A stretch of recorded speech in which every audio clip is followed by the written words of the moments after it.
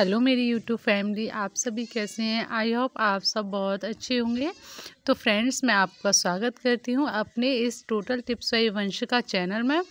Friends, अगर आपके बाल बहुत ज़्यादा टूटते हैं और हेयर फॉल यानी कि बहुत ज़्यादा हो रहा है, बाल मोटे नहीं हैं, बाल बहुत ज़्यादा पतले हैं, बाल बढ़, बढ़ते ही नहीं हैं और बालों की ग्रोथ नहीं होती है, दो मुँहे बालों की समस्या है, सफ़ेद बालों की दिक्कत है तो फ्रेंड्स, मैं आपके साथ एक बहुत ही बढ़िया, यानी कि बहुत ही बेहतरीन घरेलू नुस्खा लेकर के आई हूँ, जिसमें आपका कोई खर्चा भी नहीं होगा और बहुत ही कम खर्चे में ये बन कर के तैयार हो जाएगा और इससे ना आपके बालों की ग्रोथ बहुत ही जल्दी से होगी।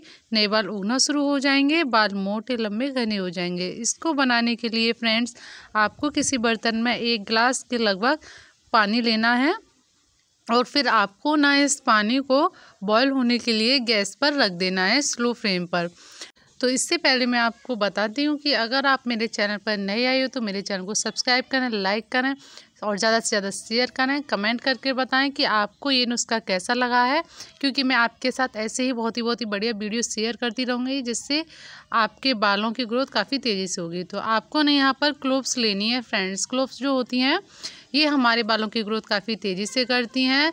इससे हमारे बाल लंबे काले घने मोटे होते होते हैं। आपको क्लोव्स को पा, बॉयल पानी में ऐड कर देना है। और इससे बालों की जो स्कैल्प जो होती है वो अच्छे से साफ़ हो जाती है। इसके बाद आपको यहाँ पर वन टेबल स्पून के लगभग चाय पत्ती ऐड करना है। चाय पत्ती जो होता है फ्रेंड्स, ये हमारे बालों को चमकदार बनाता है और बालों को लंबा, घना, मोटा करता है। हेयर फॉल की समस्या भी इससे बहुत ही जल्दी ख़त्म हो जाती है। दो मुँहे बालों की भी समस्या इससे ख़त्म हो जाती है। तो फ्रेंड्स, आपको इन दोनों चीज़ों को अच्छे से बॉयल होने के लिए रख देना है। कम से कम आपको 10 से 15 मिनट तक इस पानी को अच्छे से बॉयल होने देना है और इसे चम्मच से चला देना है। फ्रेंड्स, जब ये अच्छे से बॉयल हो जाएगा तो आप देख रहे हो कि ये चाय पत्ती और क्लोव्स का कलर कैसा हो गया है, यानी कि पानी का कलर बिल्कुल चेंज हो गया है। तो ये बॉयल होने के बाद आपको ना गैस को ना फ्रेंड्स बंद कर देना है और इस पानी को ठंडा होने के लिए रख देना है फ्रेंड्स। जब ये पानी ठंडा होने लगेगा तो आपको इस पानी को स्ट्रेनर से या फिर छलनी से छान लेना है। छलनी से छानने के बाद किसी भी बाउल में आपको किसी भी बर्तन में इसको रख लेना है।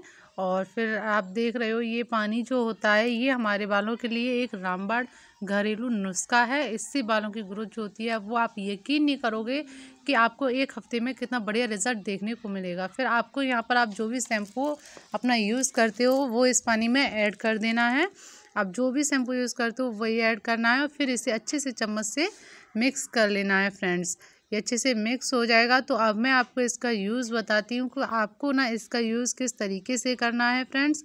इसका यूज़ आप जब भी अपने हेयर को वॉश करें तो इसी ही पानी से यानी कि इसी तरीके से शैम्पू पानी में ऐड करके और आपको अपने हेयर को वॉश करना है। हल्के हाथ से, फिंगर से ऐसे ऐसे मसाज करना है धीरे धीरे और फिर ना अपने हेयर को, यानी कि साफ़, यानी कि ताज़े पानी से फिर वॉश कर लेना है फ्रेंड्स अगर आप ऐसा दो तीन बार ही करोगे तो आपको दो तीन बार में ही आपको बहुत ही बढ़िया रिज़ल्ट देखने को मिलेगा। फिर आप ना इसी तरीके से अपने हेयर को वॉश करते रहोगे क्योंकि ये आपको बहुत ही बढ़िया लगेगा और इससे आपके बालों की ग्रोथ काफ़ी तेज़ी से होगी। बाल लंबे, काले, घने, मोटे होंगे, बाल बेहद चमकदार और शाइनी हो जाएँगे और डेंड्रफ हमेशा हमेशा के लिए ख़त्म हो जाएगा। दो मुँह बालों की समस्या हमेशा के लिए ख़त्म हो जाएगी और आपके स्कैल भी अच्छे से साफ़ हो जाएगी।